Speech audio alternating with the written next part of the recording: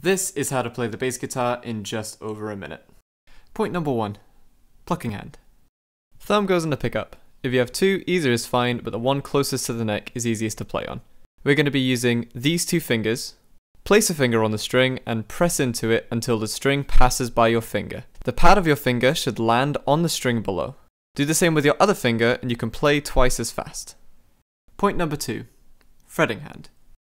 Place your thumb on the back of the neck and keep your fingers nice and curved into a claw grip like this. Press the tip of your finger into the string in between two of these frets.